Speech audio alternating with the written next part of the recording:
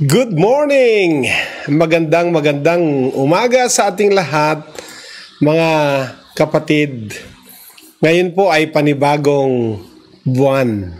Tapos na po ang Enero and uh, simula po ngayon ay uh, February, February na po ano? February 1, 2021 and it's Monday. Purihin ng Diyos. Tapos na ang uh, lumipas na ang Enero. Panibagong buwan, panibagong mga challenges ang uh, darating pero laging bago naman din ang katapatan ng Diyos. Bago po ako mag uh, anyayang samahan ako sa panalangin, nais ko pong uh, i-encourage kayo na i-share ang broadcast na ito sa inyong mga Facebook friends. At ang ating pong lahat ng daily devotional ay nasa YouTube. So follow us sa YouTube at ang ating YouTube channel ay JLG Space TV. At huwag kalilimutan po na mag-subscribe and uh, also press the notification bell upang ang susunod mga na mga video uploads ay uh, ma-notify po kayo. Maganda po ang ating topic ngayon at ang uh, title po ay Be Merciful as one who has been shown mercy. Ko. Abangan po ninyo itong uh, discussion natin sa napakaganda, very timely na topic. Maging mahabagin, maging maawain bilang isang tao na nakaranas ng habag at awa ng Diyos. Maging mahabagin dahil pinakitaan din tayo ng habag ng Diyos. So, ngayon po, inaanyayahan ko na po ang bawat sa inyo na samahan ako sa panalangin. Let us pray. Our God in heaven, inaalay namin sa iyo ang panibagong buwan ng 2021, ang month of February. Ne-expect po namin na kung paano ka nag-bless, pinagpala ang buhay namin sa mga nakaraang mga araw ng uh, January. Nag-expect kami ng higit pa sa mga naranasan namin sa nakaraang buwan ang mararanasan namin sa buwan na ito. Pagpapala ay bubuhos sa amin bubuhos sa aming mga mahal sa buhay at sa lahat ng konektado sa amin. Maraming maraming salamat po. Pinupuri ka namin, dinadakila ka namin sa tanging pangalan mo Jesus. Amen. And Amen. Purihin ang Diyos na buhay. So handa po natin ang ating mga puso dahil ito na naman po tayo, tatanggap ulit tayo ng buhay na salita ng Diyos. Yan po ang ating topic ngayon. Be merciful as one who has been shown mercy. Be merciful as one who has been shown mercy. Yan po gagalaw ang ating pag-uusapan natin ngayon. At uh, atin pong kunin ang ating key passage for today's devotional na matatagpuan sa Matthew chapter 5 verse 7 at uh, babasahin natin sa New Living Translation. Basahin po natin, God blesses those who are merciful for they will be shown mercy. God blesses those who are merciful, for they will be shown mercy. Matthew 5.7 Ito po ay isa sa mga beatitudes o beatitudes na kasama sa kanyang Sermon on the Mount. Maging mahabagin kayo, sabi niya, sapagkat kayo mismo ay nakaranas din ng habag ng Diyos.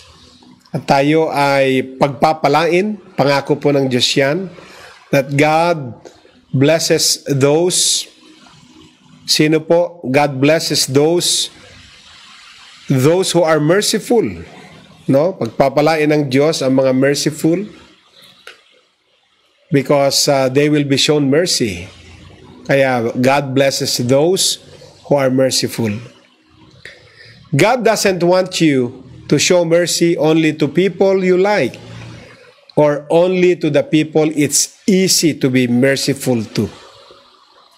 Eh ano pa nga po ang pagkakaiba natin sa mga hindi mananampalataya? Kung ang pinapakitaan lang din natin ng habag at awa ay yung mga taong gusto lang natin, yung mga gusto lang, yung, yung madaling pa bigyan ng awat habag at yung mahirap ay pinagkakaitan. Kaya nga, God doesn't want you to show mercy only to the people you like. Huwag kang mamimili, huwag kang selective, huwag kang choosy, huwag kang bias. Ayan, ibig sabihin nun.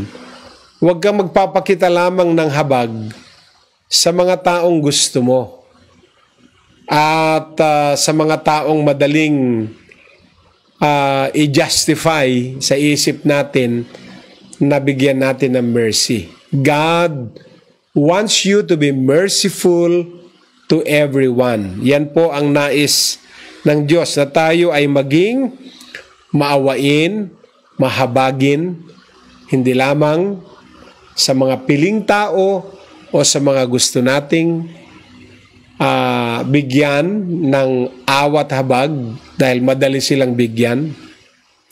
Kundi ang utos po ng Diyos ay ibigay natin ang habag sa lahat ng tao. Bakit po? The question is why? Bakit po God wants you to be merciful to everyone? Why? Because you need mercy to get into heaven. Isa po sa mga sangkap na kailangan natin para tayo po ay uh, entitled, para tayo po ay makarating ng langit, ang uh, itong sangkap na ito, yung pagiging mahabagin at uh, maawain. Kung hindi po in-apply ni, na, na, ni Lord ng Diyos natin ang mercy sa atin, ang kanyang awa at habag, eh wala pong nakakapag-deserve ng heaven eh. Kaya dahil tayo ay recipient lahat ng mercy ng Diyos, ako ay recipient ng mercy ng Diyos, ikaw ay recipient ng mercy ng Diyos, at uh, dahil tayo ay tumanggap ng mercy, tayo ay pupunta sa langit sapagkat ito ay mahalagang sangkap at hindi ipinagkait ng Diyos sa atin. Kaya ayaw niya na ipagkait din natin ang mercy sa mga taong ayaw natin o ipagkait ang mercy sa mga taong hindi nila deserve, I should say.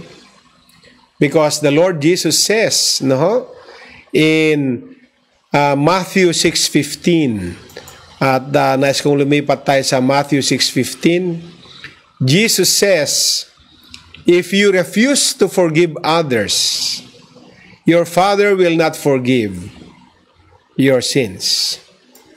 Matthew 6.15. So, nakita ho ninyo ang linalaman ng bersikulo na yan kapag nag-refuse ka, pag umayaw ka na magpatawad sa iba, ang iyong ama sa langit ay hindi ka rin patatawarin sa iyong mga kasalanan. So, ibig sabihin, based on Matthew 6.15, ang uh, forgiveness, ang pagpapatawad, ay conditional. No? Na bago tayo humingi ng tawad sa Diyos, dapat eh nauna na nating pinatawad yung mga nagkasala sa atin, yung mga, mga nagawa sa atin. Ano po? And uh, very clear po yan sa Matthew 6.15. The only way you can get into a perfect heaven is by God's mercy and forgiveness through the death of Jesus Christ. But you cannot receive what you are unwilling to give yourself. Of course. Di po ba? Paano mo matatanggap yung ikaw mismo ay hindi mo kayang ibigay. Ha? So, ang tanging daan na tayo ay makapunta sa tinatawag na perfect heaven ay sa pamagitan ng grasya ng Diyos at pagpapatawad ng Diyos sa pamamagitan ng kamatayan ng Panginoong Heso Kristo.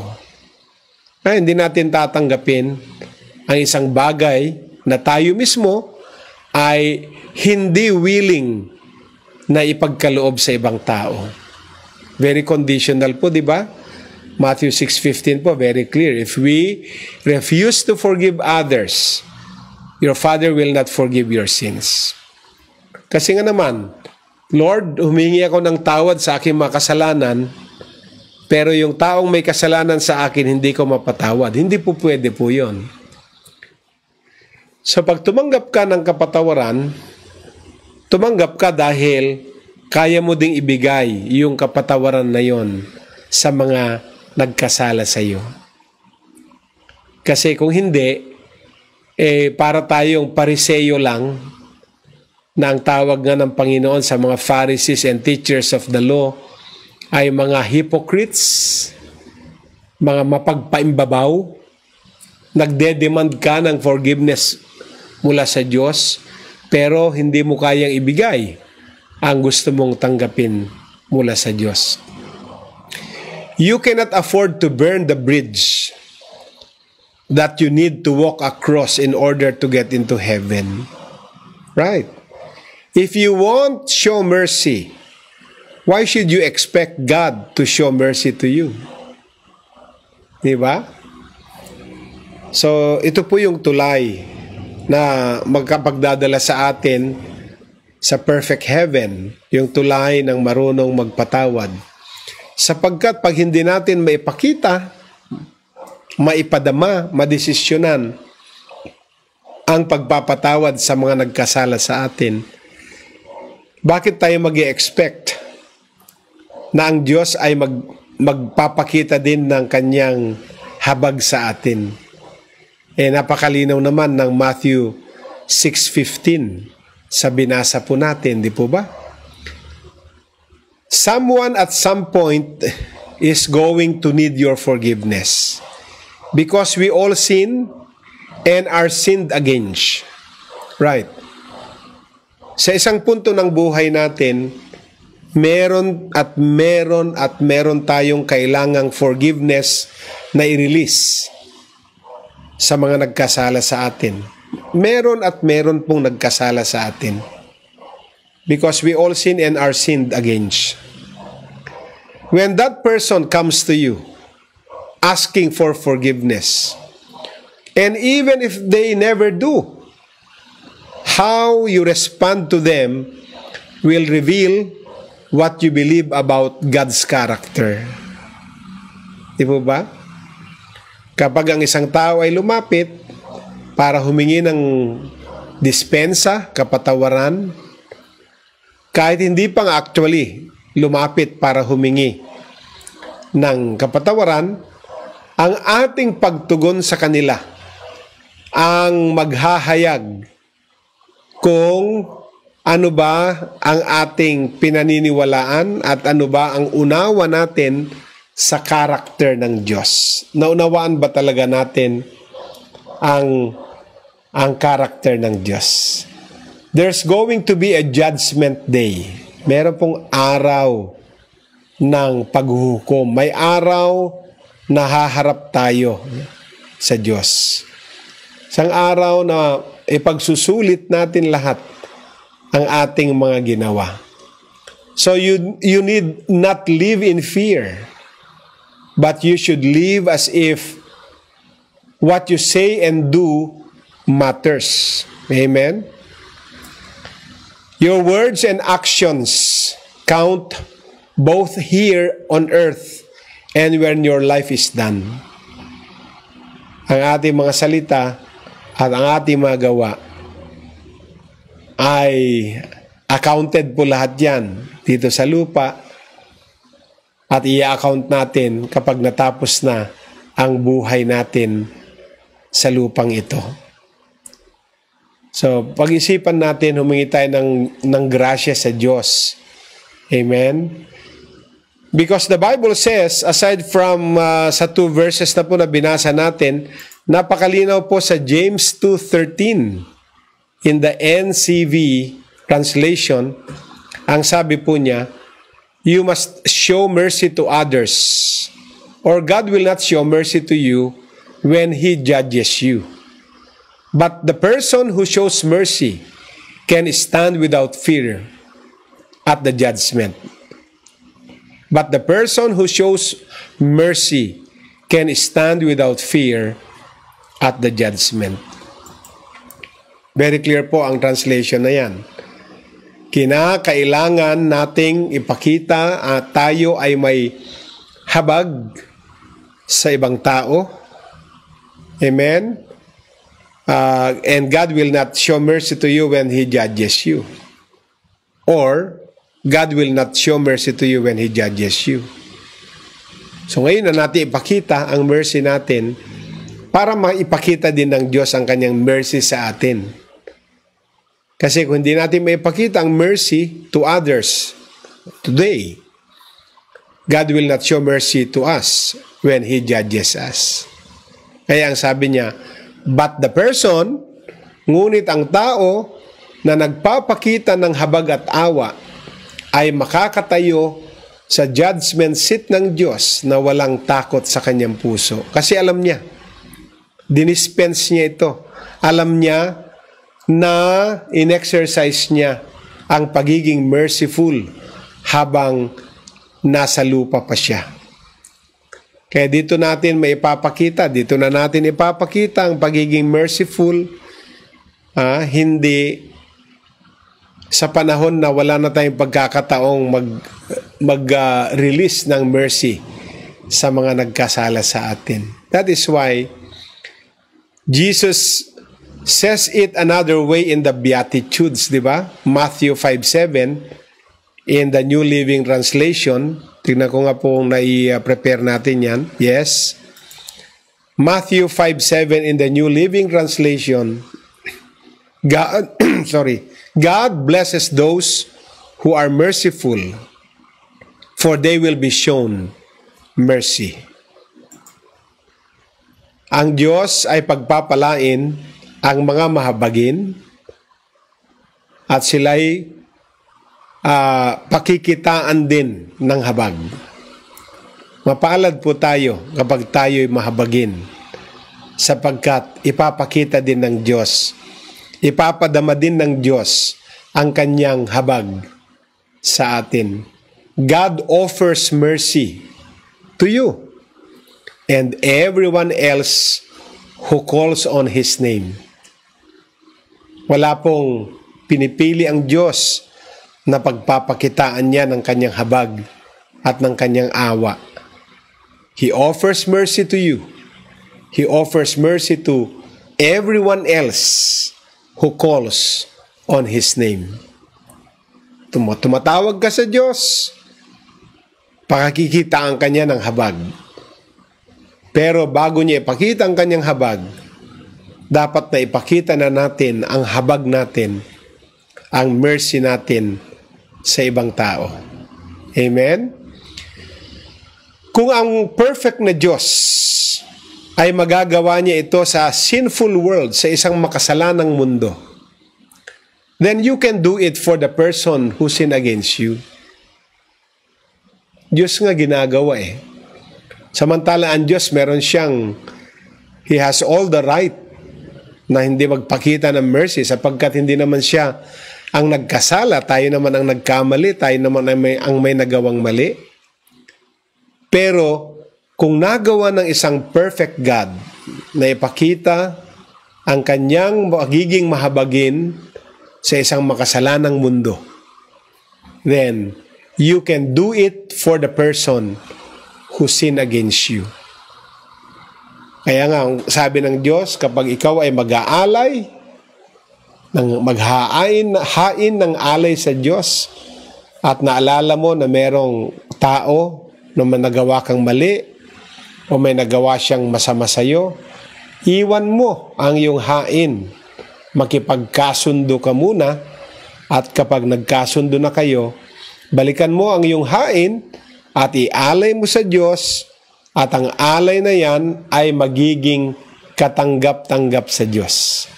So nakita ho natin kung gaano ka-conditional ang forgiveness, ang pagpapatawad. May kondisyon po yan. Hindi po pwedeng patawarin mo ako, Panginoon, pero siya hindi ko mapatawad sa nagawa niya sa akin. Ano yun? Double standard. Na ang Diyos na walang ginawang masama ay patatawarin tayo, tayo naman na may nagawang masama ay hindi makapagpatawad sa nagkasala sa atin, hindi uubra yon. Kaya po, mauna muna tayo. Humingi tayo ng grasya sa Diyos. Lord, mahirap gawin ito. Nasaktan po ako. Hindi ko kayang i-release yung nagawa niya sa akin. Talagang bumaon sa aking sistema. Gaano man kasakit, gaano man kalupit yung ginawa sa iyo.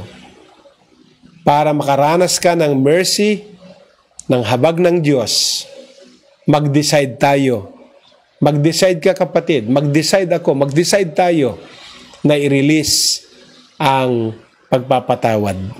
Amen? Kaya nga po ang topic natin, be merciful as one who has been shown mercy.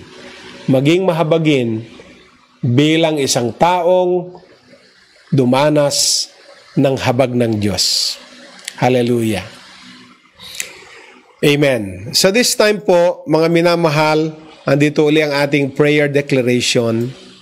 Sabihin natin, Heavenly Father, You offer mercy to me and everyone else who calls on your name. If a perfect God like you can do that for a sinful world, then I can do it for the person who sinned against me. Amen. One more time. Heavenly Father, you offer mercy to me and everyone else who calls on your name. If a perfect God like you can do that for a sinful world, then I can do it for the person who sinned against me. Amen and Amen. Purihin ang buhay na Diyos. Napakagandang panalangin po ano? Amen. At ang Diyos ay nag-offer ng mercy sa iyo, at sa lahat ng tao na tumatawag sa kanyang pangalan, katulad ng sabi ko, kung ang Diyos na walang kasalanang makita sa Kanya, ay kaya niyang mag-release ng mercy sa makasalanang mundo. So ikaw din ay kaya mo mag-release ng forgiveness sa sino mang nagkasala sa iyo. Let us pray. God in heaven, maraming maraming salamat po Salamat sa katuruan na itong pagpapatawad ay may kondisyones. Na kailangan mag-decide din kaming magpatawad sa mga nagkasala sa amin upang kami ay makatanggap ng pagpapatawad mula sa iyo. Tulungan mo kami. Kung pairalin namin ang aming emosyon, pairalin namin ang aming isip, masasabi naming mahirapan kaming mag-release nitong kapatawaran. Pero kung inisip naman namin na ito lamang ang paraan para mapatawad mo kami, bigyan mo kami ng grasya na magawa namin ito. Pagpalain niyo po ang bawat isa, pagpalain niyo po ang pamilyang nire-represent namin, pagpalain niyo ang buong maghapon ito at lahat ng gawa ng aming mga kamay. Sa tanging pangalan mo, Jesus. Amen and Amen. Purihin ang Diyos na buhay, mga minamahal. Uh, uno po ng February ngayon, lunes. Mamaya po magbabalik ako sa Hope Hour, alauna ng hapon, at ang ating pong Zero Gravity Podcast mamayang alas 7 ng gabi. This is your Pastor Rene Alog po. God bless us all and Shalom.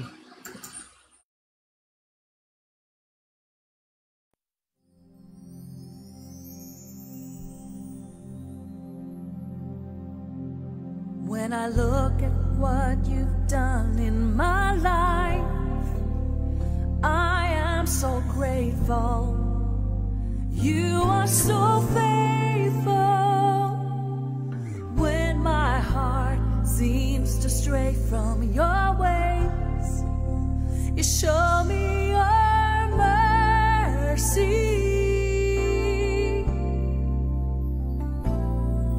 Your compassion